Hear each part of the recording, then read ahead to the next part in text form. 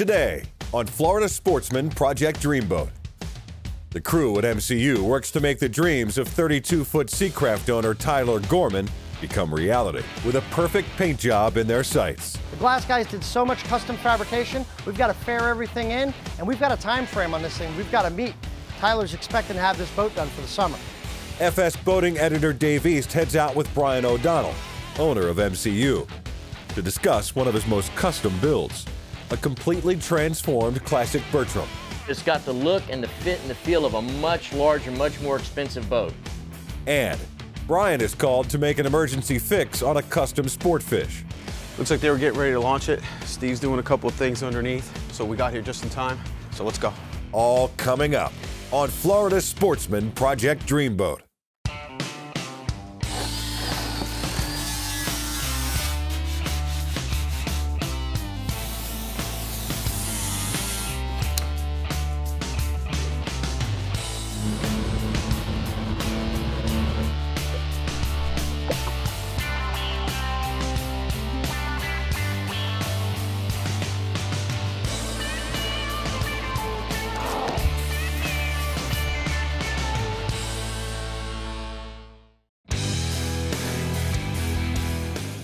All right, so I'm building a 32 Seacraft for a friend of mine, Tyler Gorman.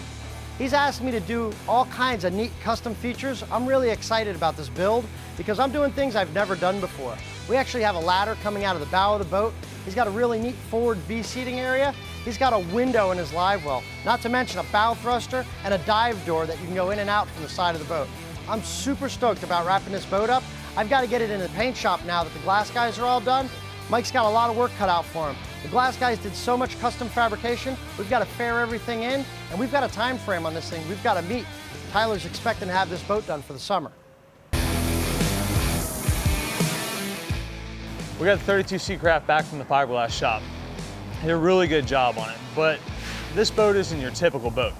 This owner has us one end to another, customized little tweaks here or there, so we have got a ton of body work ahead of us.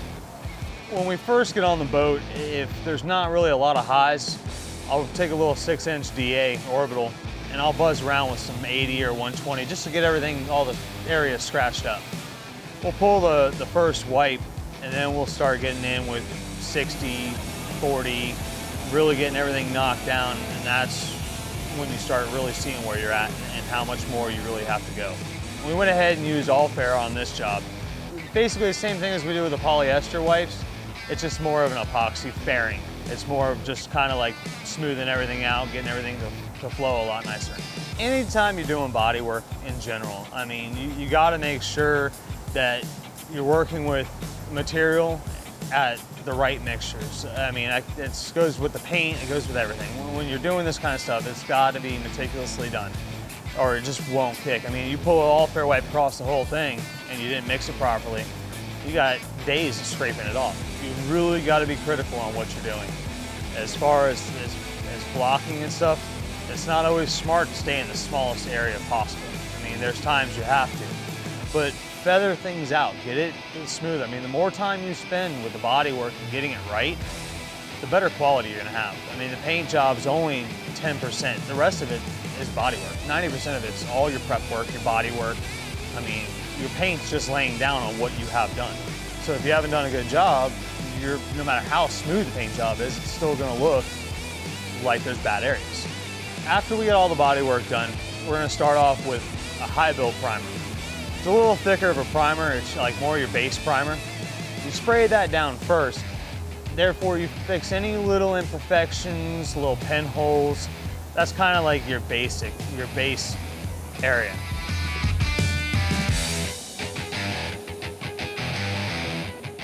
Once you do that, we'll trace it back out. We'll sand it all down with some 150, 120.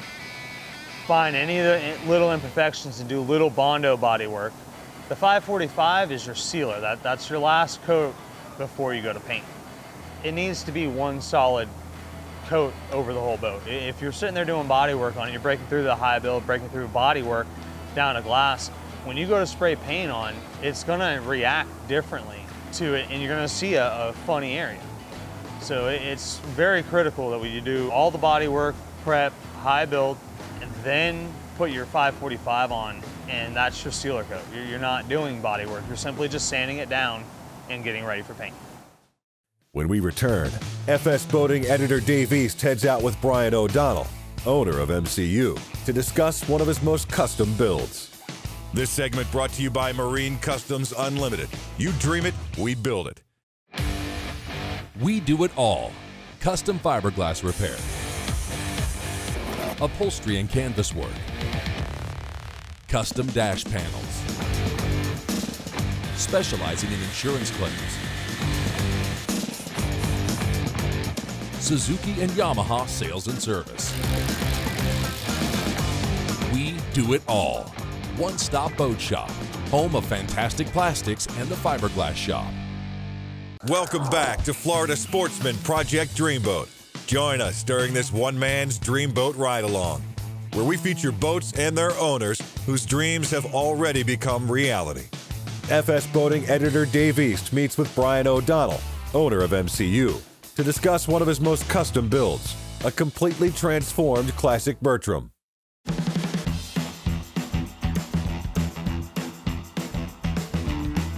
Brian, thanks for inviting me out on this Bertram today. I know the original boat started off at 31 feet. What's your overall length now?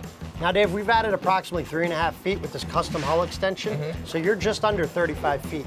Well, what was the inspiration when you dealt with the owners on this boat? What was their inspiration to say this is the modifications you want to make, and what's the mission this boat is designed for now? The biggest thing with this boat and this project was they were looking for something no one else had. And they wanted a boat that just wasn't run of the mill, wasn't something that anyone else could go out to the boat show and purchase and buy. And they loved the classic lines and look of the Bertram, and they knew the boat could be a performer. This actually was an old race boat that Richard Bertram used to race. Let's look a little bit more into the to the uh, details of what you did to the boat. I know she used to be inboard power. Right. Now you've gone to outboard power and you've extended it. Let's start here at the transom and work our way forward. Tell me why you went with the bracket and why they went with outboards over keeping the original inboard engines. Well, like I said, this wasn't a typical standard original 31 Bertram. This was an old race boat, so it had twin IOs all the way in the back transom of the boat. Mm-hmm. Obviously, to fish and to use a boat like that, it's kind of hard with a big engine box Right. back here. So they went with the idea of going with the outboards, and we lengthened the whole entire boat. I ran stringers all the way from the bow. They run all the way out the stern over three and a half feet. So your actual running surface on the bottom of this boat really is approximately 35 feet. Okay, so you've got the effect of a bracket back here, but you kept your running surface, which is good. It's going to give you more displacement. It's to let you carry the weight of the motors and the extra weight of the cockpit. I- that's a good idea for that design. Well, too, now you have a shallower draft. You can trim these engines up. That's something that uh, even an IO you're not going to be able to do. So I guess it would give the boat more utility. Well, the craftsmen at your shop did a great job with this teak cockpit, but I know there's more than just what's on the surface. Tell me what's below here. These guys went ahead, they wanted large fish boxes. Inside the fish boxes, when you open them up, they've got huge area for storage. The attention to detail, when you lift that hatch up and you see the blue and black carbon fiber inlay on the bottom of the hatch, underneath the gunnels of the boat, the finish underneath the gunnels is as nice as the outside hull of the boat. Then we went into doing the modifications like the audio system, and we did a custom laser engraved speaker bezel grate that covers over the speaker. Now you don't even realize it's a speaker. You just see this custom polished stainless steel trim bezel, and it looks really sharp. Well, the thing that caught my attention when I looked inside the bilge, the bilge in this boat has the same finish as the outside of the boat. It is absolutely gorgeous. Plus, it would be super easy to clean. Yeah, not only is it clean down in the bilge, it's also in the generator room. So you're able to go down and access your generator or work on it. And you could spill a little oil on an oil change, you could wipe up in the bottom of that Awlgrip paint job like there's no big issue at all. Well, as nice as this area is back here at the transom, that helm area is absolutely gorgeous. Come tell me more about that. Let's take a look. This helm area is beautiful. It's simple. I love the dual controls, but the electronics. Where are your electronics? Actually, Dave, the electronics are right there. Watch this.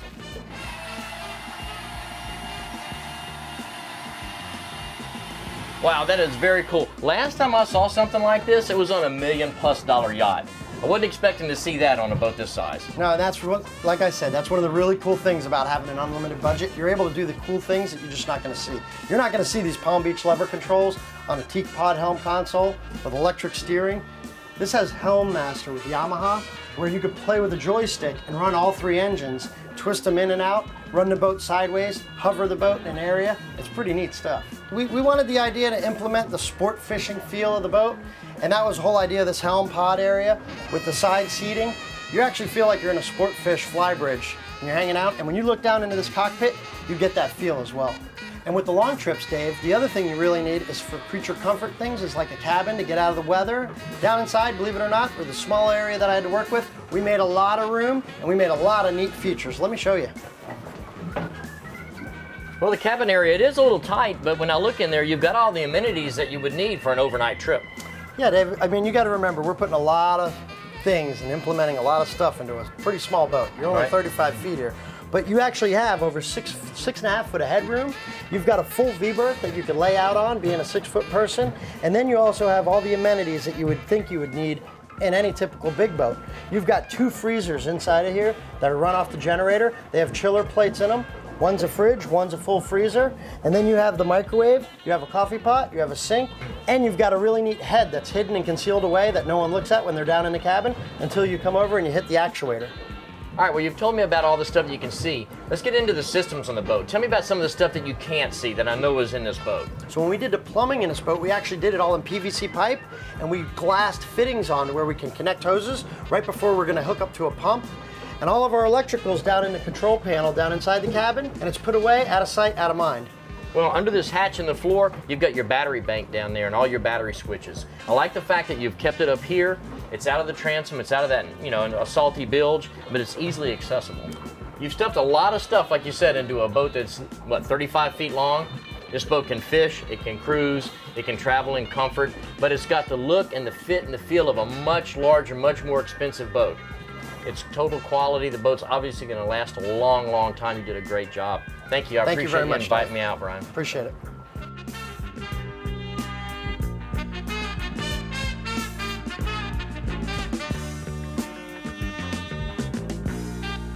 With an initial purchase cost of 20000 after adding 550000 in custom modifications at MCU, the cost of this Dreamboat comes to a total of $570,000. When we come back, the crew at MCU prepares the 32-foot Seacraft project for a custom paint job. This segment brought to you by Armstrong, celebrating 25 years of creativity and innovation. Do you have the Armstrong Advantage? In its most basic form, an Armstrong outboard bracket improves the efficiency of your outboard motor. This equates to a faster time to plane and higher top speeds. The list of advantages continue with improved maneuverability, added space, and a quieter ride. Adding a swim platform accompanied by an Armstrong boarding ladder will certainly add to your day out on the water. Isn't it time for you to gain the Armstrong Advantage? Welcome back to Florida Sportsman Project Dreamboat. Join us as the crew at MCU prepares the 32 foot Seacraft project for a custom paint job. So now that we've got our 32 Seacraft all primed and ready for paint, Tyler's looking for a little more of that Richie Rich Palm Beach fancy style look. So he's picked a really neat color. It's called Blue Tone White. Awlgrip has formulated this color to where it looks almost like a white from a distance, but when it's put up to a white, you can actually tell it's like a pale blue. I've got my friends at Fiberglass Florida. They're gonna help us mix this custom color. I'm excited to see what this thing's gonna look like. To begin the process of mixing a custom paint color, a specialist locates and prints out the required formula sheet. This sheet will tell them exactly how much of each pigment is necessary to make the desired color. Before the paint is pulled from the shelf, all of the cans are mixed thoroughly. A blank label is pulled for the new can, and the sticker of the desired color is applied. Here, blue tone white. The new can is placed on top of a scale and it's zeroed. Before opening any cans, the specialist makes sure to wear a respirator and safety goggles. The base color the formula sheet calls for is white, which is poured into the can until the weight reaches the appropriate amount. Then, the specialist gently swirls around the base color, so any darker colors added do not cling to the sides of the can, which could cause issues when the painter goes to spray. The specialist then adds the remaining colors black, blue, and yellow, making sure to reset the scale every time he adds a new color, ensuring a perfect formula match. With all the necessary colors added, the can is sealed tight and placed inside of a high-speed paint mixer for about four minutes. Once complete, the paint can is removed and the new label is rolled onto it. It is now ready to be delivered to MCU. So today's the day. We're gonna spray the outside of this boat, but it is pouring. A little bit of rain's not bad, but when you start getting that heavy rain, you get a lot of the moisture in the air. It's, it really can mess up the paint job. We got lucky though, towards the end of the day, it really laid down. We waited till everybody left, got this thing in there at nighttime to where it actually turned out to be perfect shooting conditions. You know, there's no dust in the air. We get it in the booth, we gotta make sure this thing is wiped down, cleaned off. There's been people walking by it, you know, grinding going on, motors being fired up. All that stuff plays in to having issues.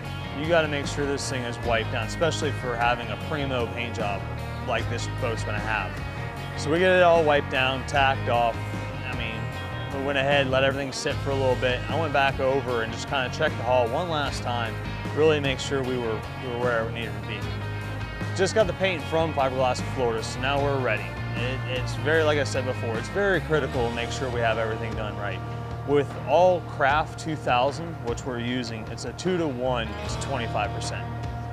You gotta make sure that you're doing that mixture properly or it just won't kick. So we have the Awlcat 2, which is your activator. It's what actually gets the paint to flash off. We wound up going with T003, the standard reducer. The reducer just helps thin it out, so when you're spraying, it, it, lays it down nice and smooth. Went ahead and mixed those two in. We spun those up pretty good, made sure they're mixed together. With Awlcraft 2000, it's two to one, so you've got one gallon of paint, you've got a half gallon of Awlcat number two, so now you're really working with a gallon and a half of material, plus the reducer. Now we got the paint mixed together. We've got to let it sit and induct for 15 minutes. While that's happening, I'd like to take my gun and, and make sure that I've got everything there, everything's clean, the tip. You know, you gotta make sure all that stuff's really up to par. Once again, you're just not gonna get that quality of the paint job. Once it's activated, we'll go ahead and pour the paint in the gun and we'll still, even at that stage, we'll check everything. We'll plug it all in, we'll get the pattern right, we'll get the amount of, that we want, the airflow that we want, get everything perfect. Because once you go to the boat, there, there's no really stepping back and going, oh, I mean, you really want to get that point and just go. We actually got kind of lucky with the weather. Right before we're getting ready to spray, probably about 20 minutes, a half hour, it stopped raining. So now it's just a nice wet area, no dust is out. I started spraying on the boat. It, it really laid down really nice. Really, there's the only really technique you have is just not to stop. When you come out to the end, you gotta let it flow. But every painter is different. Some are fast, some are slow, some like to put out more pressure. I mean, it's really, you gotta zone into the way you are comfortable spraying. But the big thing is, is, is when you are spraying, regardless of how, or even with a puff can, I mean, you can't just stop and then keep going because you're to get a heavy spot there and you are going to get runs. You know, with the same thing with the runs, going back to the pot, making sure everything's adjusted properly. End result, it came out really nice. I mean, I, I think Tyler's really going to be happy with it. When we return, the crew at MCU makes an emergency enclosure repair on a custom Sportfish. This segment brought to you by MyFWC. Life jackets save lives.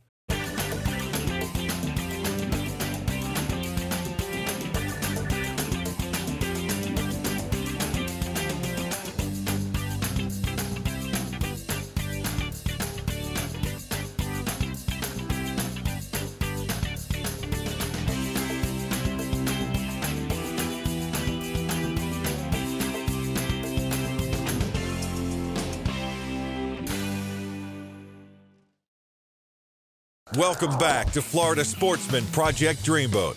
Join us as the team at MCU makes an emergency enclosure repair on a custom Sportfish. Today I had to send Vic down to go fix an enclosure. The last person who built it, they did a really good job, but the thing was a little bit loose and the customer was complaining about it not fitting and not being right. I'm gonna have Vic go tighten up the zippers. He's gotta do some sewing and stitching. Vic's been doing this a long time. I know he's not gonna have any issues. All right, we just got a call from A&J Boatworks. Um, Steve out there, he's got an emergency job. Boat's there for a little couple of days, and um, the curtains are too loose. So we're gonna go down there and see what we can do to fix them up and uh, make everybody happy.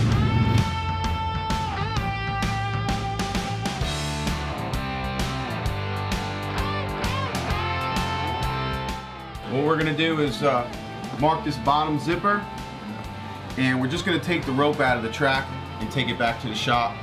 We'll lower it, restitch it for him, and bring it back.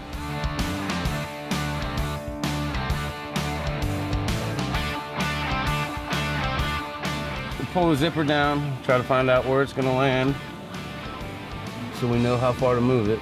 So that's about where the zipper lands.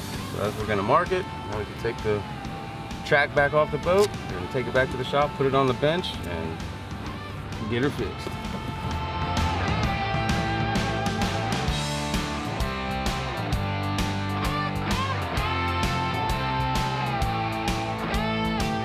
We've got 3 eighths. We're gonna go ahead and give him, uh, lower it down a good half inch. Zippers seem to tend to, to stretch a little, so uh, we're gonna tighten it up pretty good for him.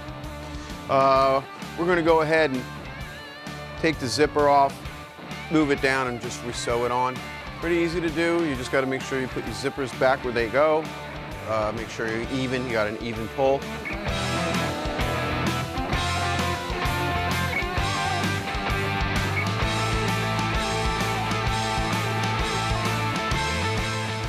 So we tighten it up a little more than we're supposed to. So even if we have a little bit of slack in it, we're, we're still good. Tighten it up for him. Zipper's out of the way, so he'll have easy access to roll that zipper back and forth. And we'll go down to the boat and, and try it and make sure it works real good for him.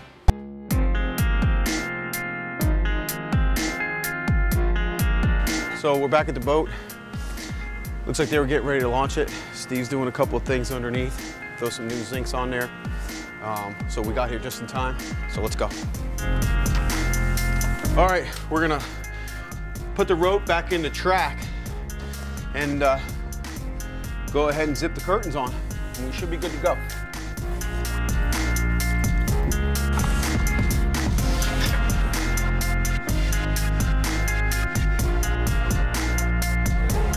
All right, we're looking, we're looking real good. You can see, curtains have tightened up a lot. Um, they're probably still gonna stretch a little. I'm sure the customer will be happy with this. It's right where it's supposed to be. We're just gonna pull it back, put the screws back in it so nothing moves and shifts. Uh, adjust it, and uh, we're, we're done.